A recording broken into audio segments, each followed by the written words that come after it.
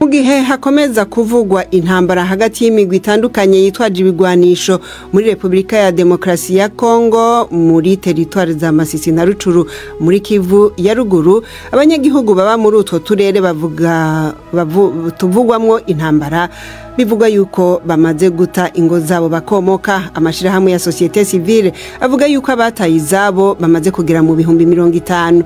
Ibi biremezwa na olivier kanyejambo umuhuza w'ibikorwa mu ishyirahamwe nouvelle sosiyete sivile do masisi yambwiye ko abahunga ngo berekeje ku kigo c'ingabo z'umuryango wa afurika y'ubuseruko.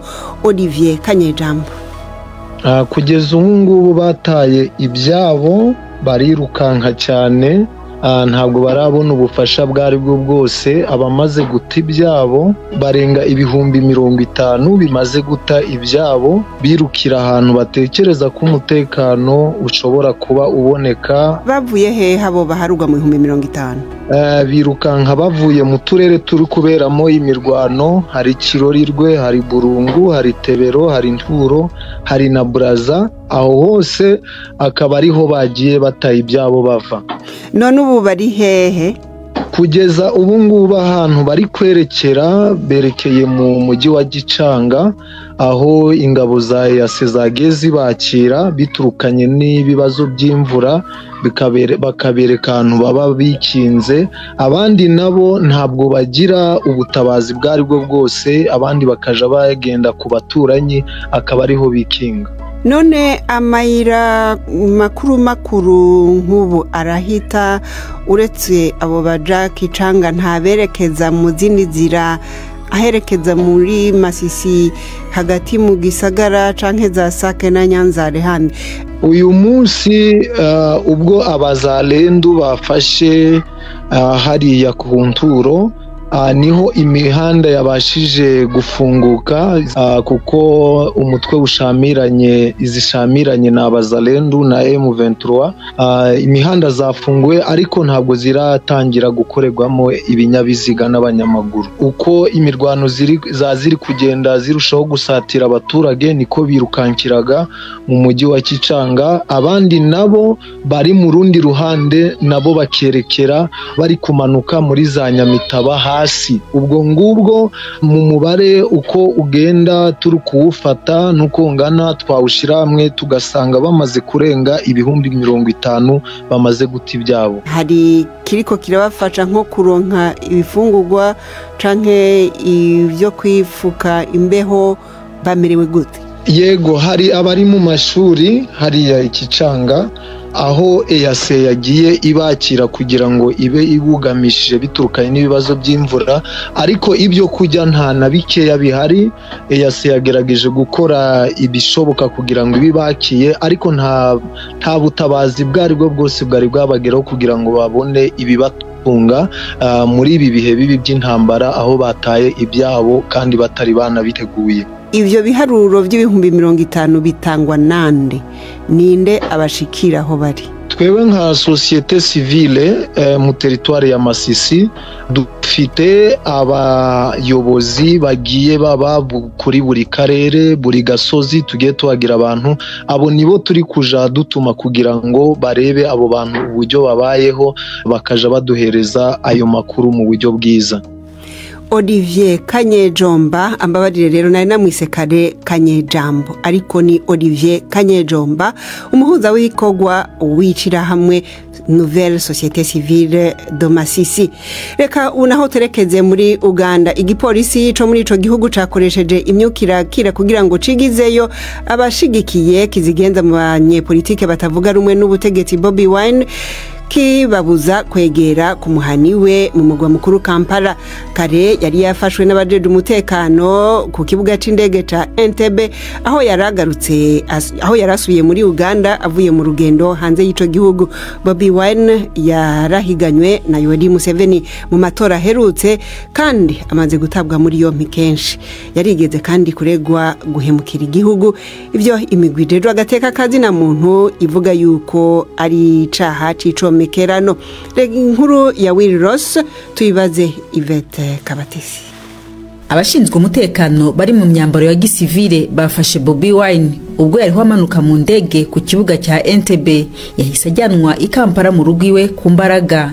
Icyo cyemezo gisa n'icyari kigamije gukora ku buryo abayoboke be ku ruhande rutavuga rumwe n'ubutegetsi batabona amahirwe n'amwe yo guhura ngo bamwakire.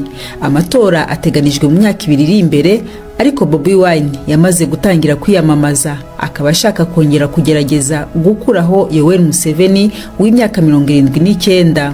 Ku rundi ruhande umuhungu wa museveni nawe yemeza ko yifuza kwiyamamaza. Hashize imyaka irenga makumyabiri igisirikare gikoreshwa mu kubangamira bikomeye abatavuga rumwe n'ubutegetsi. Uyu munsi bobi wine yongeye kubisogongera.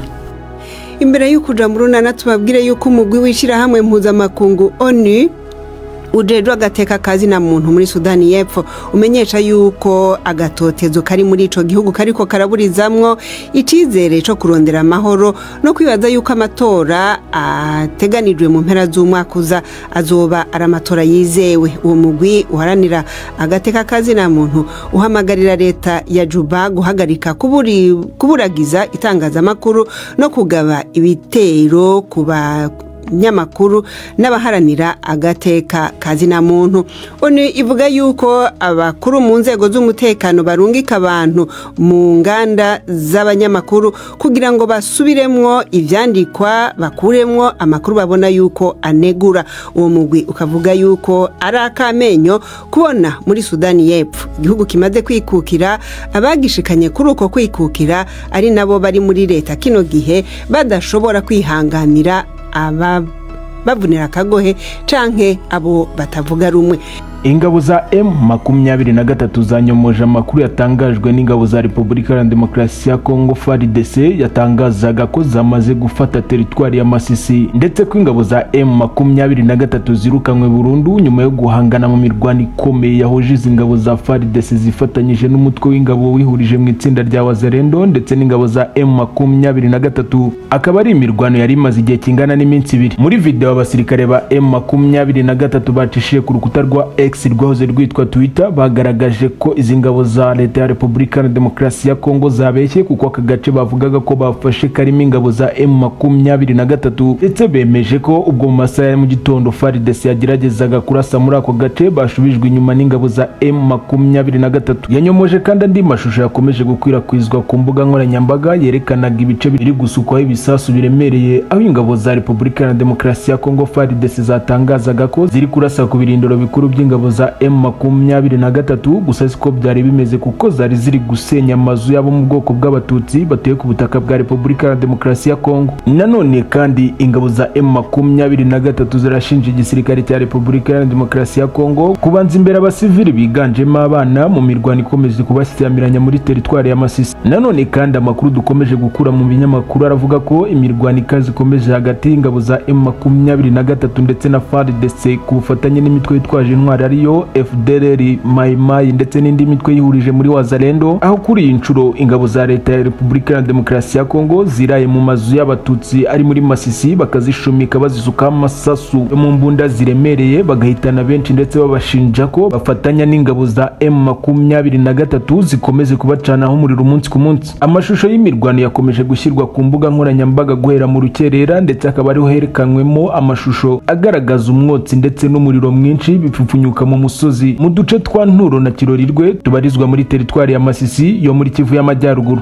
Iyi mirwano ikomeje gutuma abanyekongo benshi bahunga yatangiranye n'iki cyumweru aho ingabo za M23 zitangaza ko ingabo za Repubulika ya Demokarasi ya Kongo zifatanyije n'imitwe yitwaje intwari irimo FDLR n'urubyiruko rwifashishwa ruzi nka Wazalendo ari zo zatangije ibitero ku birindiro by'ingabo za M23 byari biherereye kirorirwe umuvugizi w'igisirikare cya M23 Major General Wiringoma agatangaza ko urwego rwo kwirwanaho bahanganye bikomeye n'izi ngabo za Repubulika ya Demokarasi ya Kongo bakazisubiza inyuma ndetse ari nako bagenda bafata ibice bari bamaze gukambikamo. Mu mashusho agaragaza inzu ziri gukongoka mu gace ka Nturo muri Masisi umwe mu bayafashe avuga ururimi rw'igiswahili yagize ati twahageze hano ni muri Nturo izi ni inzu z'abatutsi turi gutwika kuko abatutsi bihishemo baturasaga tukayoberwa iyo amasasu ari guturuka. Nkumbi nahangaha none turahatwitse. Aya mashusho yaje akurikiye amashusho yashyizwe hanze n'umukuru wa NDC Lemove umutwe witwara gisirikare mu burasirazuba bwa Repubulika ya Demokarasi ya Kongo uzwi ku izina rya Guido aho yatangazaga ko ufatwa nk'umunyarwanda wese bazamusubiza iwabo.